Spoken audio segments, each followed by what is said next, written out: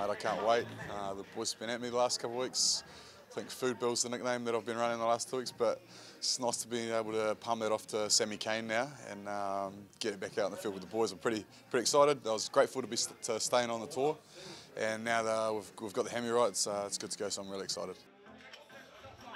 Everyone wants to play in the in the last game. It's a big one here against France, so um, mate, I just can't wait to get out there and play.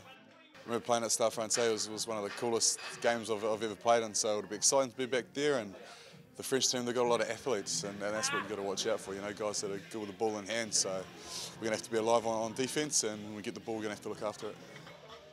Defines our season in a way, doesn't it, the last test? So um, it's up to the guys in the 23 that are, that are playing to, to go there and do the performance on the field, and about everyone else helping out to ensure we get a good performance and end the season right.